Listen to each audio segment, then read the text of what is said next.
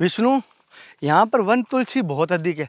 साथियों, मैं आपको बताऊँ, यहाँ पर जो हम ये हिस्सा पार कर रहे हैं जंगल का, चारों तरफ़ तुलसी तुलसी है। वन तुलसी जो तुलसा जो कहते हैं, वो है चारों तरफ़। जैसे आप देख पा रहे हो, विष्णु भाई दिखाएगा एक बार, जैसे आप देख पा रहे हो, चारों तरफ़ आपको देख पा रहे हो, पूरा पूरा दिखाइए, पूरा का पूरा तुलसी वन का है। और ये ये कह सकते हैं तुलसी वन है, जिसको, ये कहना भी गलत ना तुलसी को वंदा भी कहा जाता है ना, वंदा वन। एक हिस्सा ये मिला आज हमें चित्रकूट में वंदा वन मिला। सही है, गलत है? ये बात आपको कैसी लग रही है? चित्रकूट के जंगलों में वृंदावन, यानी तुलसी का वन हमें देखने को मिला। बहुत अच्छा लगा आज। चारों तरफ़ तुलसी तुलसी। जय गुरुदेव, हर हर महादेव, जय गए गंगा मैया की। साथियों, अब ये नदी आ चुकी है। अब जहाँ हम नदी पार कर रहे हैं, यहाँ पर ये गहराई भी है, थोड़ी सी हमें पार करनी है, क्योंकि उस पार एक संत रहते हैं। संत के दर्शन जिनके करने जा रहे हैं, हम ये कहेंगे, देखते हैं, हम वहाँ दर्शन करके आपको बताऊँगा, जिन संतों के दर्शन हैं, हमने सुना है, किस प्रकार के हैं, लेकिन आपको दर्शन करवाने की मेरी पूरी कोशिश रहेगी। लेकिन पहले यहाँ देखते हम और विष्णु भाई दोनों से कहेंगे, विष्णु से कहूँगा, पहले विष्णु पार कर ले, फिर मैं कर लेता हूँ। यहाँ आगे पीछे करते हैं, एक साथ हम पार नहीं करें क्योंकि पानी गहरा बहुत है। तो कम से कम मैं डूबूँ, विष्णु बचा ले। और विष्णु तो डूब नहीं सकता तैरना आता है इसको तो है ना? और मुझे आता नहीं है। चल विष्णु, पहले पार कर ले।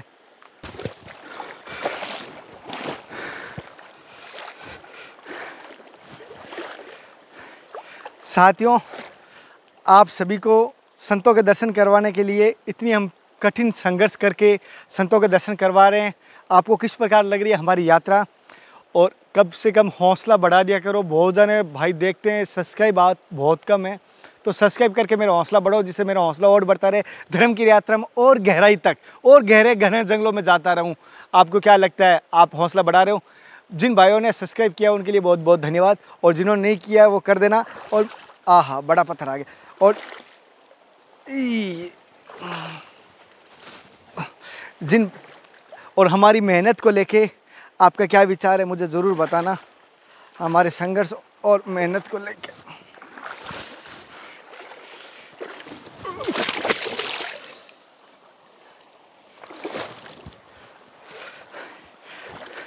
यहाँ पानी के अंदर तो मेंढक और, और काई दोनों एक साथ आ जाते हैं ना तो दुर्घटना संभावित क्षेत्र हो जाता है।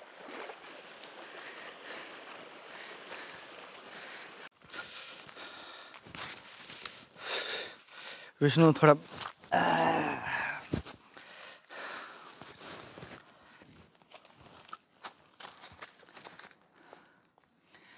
साथियों, हम थोड़े से थक गए। चलते चलते कम से कम बहुत ज़्यादा चल रहे। जंगल में किलोमीटर का तो पता नहीं चलता। लेकिन डेढ़ बज गए और लमसम दस बजे हम आए हैं इस जंगल में। थोड़ा सा विश्राम करते हैं, फिर आगे जर्नी शुरू करते हैं। आप सभी से एक बात कहता हूँ आज। जो भजन कर रहे हैं, भक्ति कर रहे हैं, बहुत अच्छी बात है, बहुत अच्छी बात है। लेकिन अगर आप संत दर्शन करेंगे, महान अच्छी बात है, महान अच्छी बात है। मेरा अनुभव से बता रहा हूँ। संत दर्शन का बड़ा फल है और बड़ा अच्छा लगता है।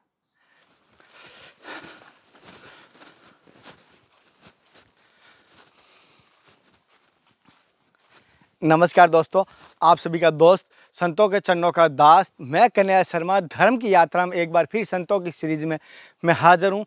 आज जिन संतों के दर्शन करवाने जा रहा हूँ, वो ये कह सकता हूँ जो आई की तैयारी की हुई है, ड्रामा फ़िल्मों में काम किया, अनेकों प्रकार के काम करने के बाद आज उनकी उम्र 18-20 साल की है और उन्होंने सारा जीवन जी के एक संत बने। इस नवयुग उम्र में उन्होंने संत बने, अभी तो उनसे हम जीवन के बारे में जानेंगे और वो सीधा संत बनने के बाद सीधा जंगल में एकांत आ गए। तो ये चकाचौंध की दुनिया को एक साथ झटके से छोड़कर और यहाँ जंगल में आए। ऐसे संत का आज दर्शन करेंगे जो आयस बनने की जगह ये बने संत। तो आई की जगह संत क्यों बने, ये हम देखेंगे आज। उनके जीवन के ऐसे रोचक तथ्य हमारे सामने आएँगे, जिससे आप भी अपनी प्रेरणा बनाएँगे, या आप अपने जीवन का उसमें हिस्सा लगे तो मुझे ज़रूर बताना। उनके विचार लेके आप मुझे ज़रूर बता, अब इन संतों के पास चल रहे हैं, हम चलते हैं और आज की फिर सत्संग शुरू करते हैं।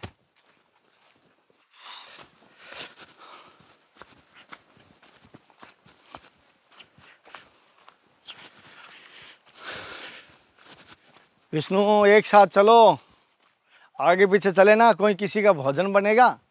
आज हमारी पंगत कर देगा कोई।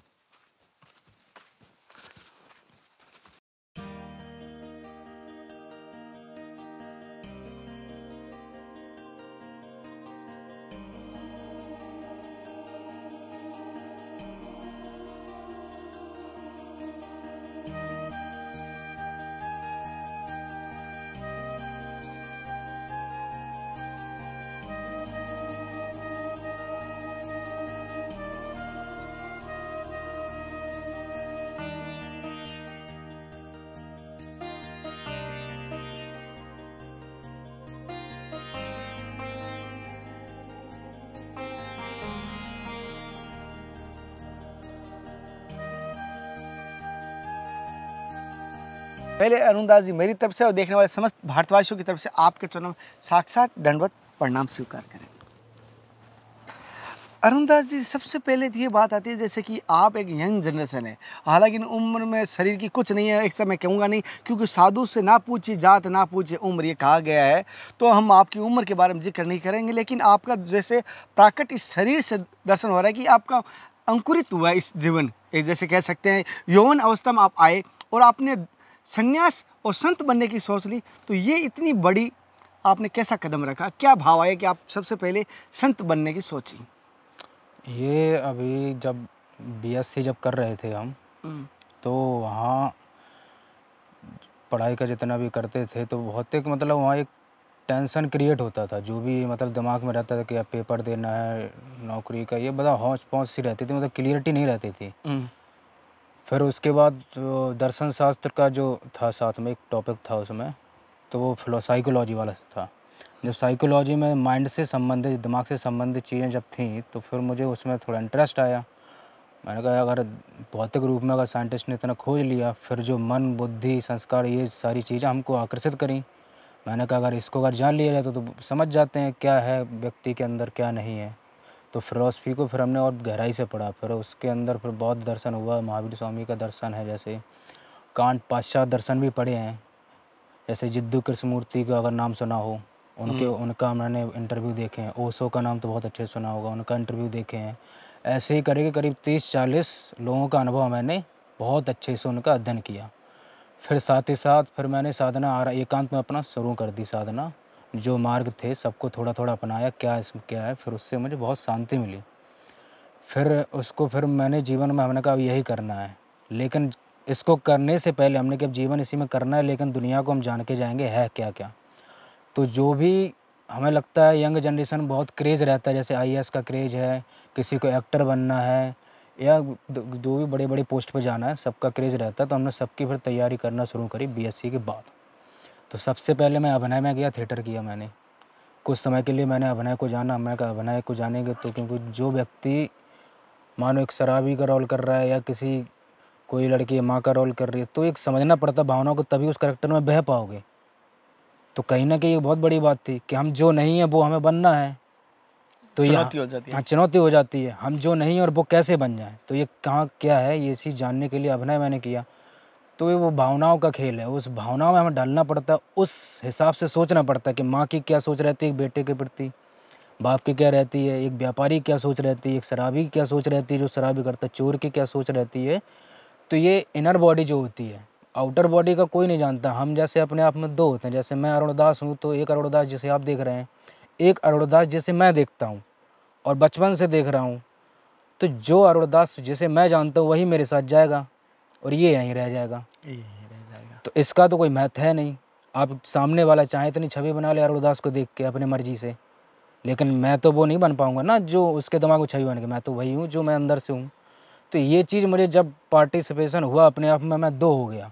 द्वैत बात जब आया बहुत अध्ययन करने के बाद जब द्वैतवाद आया तब फिर मैंने कहा अब मैं इसको बहुत अच्छे से खोजूँगा। और ये ऐसा नहीं है कि समाज में रह के नहीं कर सकते, वहाँ भी कर सकते थे। गृह गृहस्थ आश्रम भगवत गीता में बताया भी है, फिर भगवत गीता का पढ़ा, फिर हमने इसको बहुत मानसिक मजबूती के लिए बहुत सारे शास्त्र भी पढ़े, ताकि मन में ये संकोच ना आए कि यार गलत किया ये, यहाँ आके फंस गए हैं, ये मन ना कहे। इस वजह से हमने फिर उस जीवन को भी जिया, फिर आईएएस की तैयारी करे कुछ समय तक उसको जानने के लिए। फिर हम उसको जब पढ़ लिए, जानकारी ले ली, फिर पेंटिंग करे, स्केचिंग वगैरह करते हैं, फेस स्केचिंग का कुछ समय तक वो करे, क्योंकि सारी कई चीज़ों से क्या करने से क्या होता है, दिमाग खुल जाता है। अनुभव जितने ज़्यादा होते दिमाग की गति उतनी तेज़ हो जाती है। और एक ही तरह का काम करने से थोड़ा बोरिंग हो जाता है और दिमाग का खुलता नहीं है। कई तरह से दिमाग को जो काम करना चाहिए, दिमाग की क्षमता कम रह जाती है। क्रिकेट में भी देखा होगा मैन, जो महेंद्र सिंह धोनी की अगर परफॉर्मेंस थी तो फुटबॉल खेलते थे तो उससे उन्हें आइडिया आ जाती थी कि हम इस तरह से भी अपने शरीर को मोड़कर शॉट लगा सकते हैं। तो दिमाग का जितना इस्तेमाल कर लोगे ना, जितना नई नई चीज़ों में लगाओगे तो वो क्रिएटिविटी लाता है।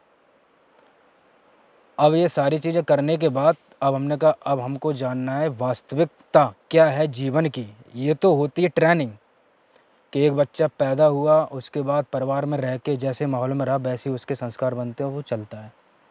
और कुछ होते हैं पूर्व जन्म के संस्कार पूर्व जन्म के संस्कार वेग देते रहते हैं। अगर हम यहाँ आए हैं तो ज़ाहिर सी बात पूर्व जन्म के संस्कार होंगे। इतनी चीज़ों में हमने इसी को क्यों पक्का किया? तो कहीं ना कहीं उसका प्रभाव होगा।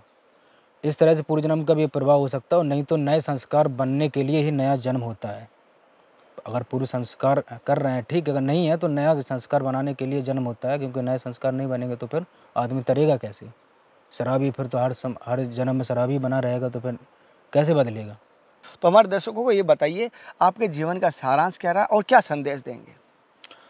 नई जनरेशन में संदेश यही है कि देखो जो भौतिक कर्म है वो तो करना ही करना है। भौतिक कर्म जो संसार में नौकरी है अपना पढ़ाई है वो तो करनी करना है। लेकिन जो मानसिक कर्म है जो मृत्यु के बाद भी हमें रह, रहता है जो संस्कार जिसे हम लेके जाते हैं जो हमारे शरीर हैं सात तरह के शरीर होते हैं जिसमें कारण शरीर में हमारी जन्म जन्म की याददाश्त रहती है तो अगर संस्कार को अगर अच्छा करके जाओगे तो मरने के बाद भी सुख रहता है। हम अच्छी हो नहीं पाते हैं। तो दोनों कर्मों को अच्छा करें। भौतिक कर्म भी अच्छा करें जिससे मन शांत रहे। अच्छे से आप अपना जो भी काम कर रहे हैं, व्यापार कर रहे हैं तो सुकून से करें। ठीक है? और नौकरी भी कर रहे हैं तो शांति रहे, उसमें मन में शांति रहे, लो आसपास का समाज भी अच्छा बने। और साथ ही साथ हर चीज़ को जानने की, खोजी खोजी प्रवृत्ति के बने। सबसे पहले मैं यही कहूँगा, कोई भी व्यक्ति हो, खोजी प्रवृत्ति के बने, जिज्ञासु बने, अपने किसी तरह की वासना में फंस के ना जीवन पूरा व्यर्थ कर दें। कि शराब भी लत ले ली तो आप जीवन भर शराब में ही चले गए, या मूवी देखने में लग जाते बच्चों का, इस समय यूट्यूब का है, कहीं कुछ है, सोशल मीडिया। देखो, हर चीज़ जानो, जानने के पर्पज़ से उसको देखो। न कि जीवन उसी में खपा दो। जीवन बहुत महत्वपूर्ण होता है, बड़ी मुश्किल से मिलता है। अब आगे का पता भी नहीं रहता, मिले ना मिले कौन सी योनी में जाओगे। तो जो जीवन हो, उसको बहुत अच्छे से जियो, जानो समझ कर जियो और सारे कर्तव्य को निभाते हुए चलो। भागना किसी से नहीं है, ये सब मन का बहम होता है, आलस है, ये सब मन का है। एक बार उसको देखोगे गौर से तो सब अंदर ही है, अंदर ही हिम्मत आती है, अंदर से ही आलस आता है, अंदर से ही डर है। और समझ गए इसको तो जीत जाओगे। नहीं समझ पाए तो पूरा जीवन ऐसे डर डर के निकल जाता है जैसे कि महाराज जी मैंने एक छोटी सी बात जानी से आपको मैंने अभी देखा आप योगा के बारे में बात कर रहे थे योगा आपने करते हो नित्य। तो आपने योगा करने का क्या अभी संत बनने के बाद भी आपकी योगा की क्यों आवश्यकता लगती है आपको? योगा देखो शरीर हमारा साधन है। और ये शरीर रूपी साधन को हर जगह में इस्तेमाल करना है अपने काम काज के लिए भी और इसी साधन से हमें साधना करनी है। तो इस साधन को स्वस्थ रखने के लिए योगा वगैरह है, प्राणायाम है तो कुछ करने चाहिए। हर व्यक्ति को करने चाहिए अपने जीवन में एक्सरसाइज योगा जो भी अपना करते बने, करो। ये नहीं कि ज़रूरी नहीं कि बहुत डिफ़िकल्ट आसन करो, इतना करो कि शरीर से जो है शुद्धि बनी रहे। ये ज़रूरी है जीवन में। साधन को स्वस्थ रखने के लिए बस इसका पर्पज़ इतना है। और साधना के लिए फिर जैसे हटियो वगैरह हो जाता है, वो तो जो साधना करते हैं, वो पूरी डिटेल से हो जाता है। उसके लिए उन सामान्य व्यक्ति को ज़रूरत नहीं है। वो साधना जिसको करनी है फिर वो डिटेल से उसको जाने योग के बारे में। जैसे कि आपने ये कहते हैं जैसे यहाँ साधना ये आप घर पे भी कर सकते हैं जो यहाँ प्राप्त करो आप घर पे भी आप घर में भी एक कुटिया बना सकते थे आपको ऐसा कोई पाबंद नहीं थी आप सक्षम परिवार से भी आते हो तो क्यों आपने घर त्यागा? घर एक तो समाज स्वीकार नहीं करता है क्योंकि समाज में जो चर्चाएँ जैसी रहती जैसे समाज में रहोगे तो माता पिता भी उम्मीद करते हमारा बच्चा भी वैसा ही हो। मेरे माता पिता की भी उम्मीद थी कि अच्छा प्रोफेसर बने, अगर एग्रीकल्चर से पढ़ रहा है साइंटिस्ट बने। चलो आईएएस की तैयारी करी तो फिर आईएएस ही कर ले अच्छे से। तो कुछ भी जब मैंने नहीं किया तो फिर अब उनको भी निराशा थी, ये कुछ कर ही नहीं रहा तो भटक रहा है, भटक गया। लेकिन वो मुझे पता था मैं क्या कर रहा हूँ। कि मैं, मेरे अंतर मन में तो था कॉन्फिडेंस था। लेकिन सामने वाले को देख के यही लगेगा कि इसने कुछ दिन पेंटिंग करी, फिर आईएएस करी तो ये भटक रहा है, इसको निश्चित नहीं हो रहा है। तो उनको मेरा जीवन लगा भटकाओ और मुझे लगा खोज। कि मैं जीवन की खोज कर रहा हूँ और समाज को लगेगा ही। और जो जिस तरह के माहौल में रहेगा उसको उसी में कंफर्टेबल हो जाता है। वो सोचता है, इसी में रहो तो ज़्यादा सही है। और नया कोई काम करो तो थोड़ा रहता है परेशानी। कि वहाँ रह के अब साधना के बारे में ज़्यादातर लोग जानते नहीं है। जैसे बैठा देखेंगे तो उनको ही लगता है, बैठे तो रहते हो दिन भर। तुम करते क्या हो? तो पता नहीं होता उनको कि हम क्या कर रहे हैं अंदर बैठे बैठे एक चीज़ और आपके सामने हमारे सामने एक घटना घटती है जैसे हम कभी समाज में ऐसे अभी दर्शन कर रहे हैं आप तो शायद तक सुना होगा धर्म की यात्रा और कन्या शर्मा के नाम से।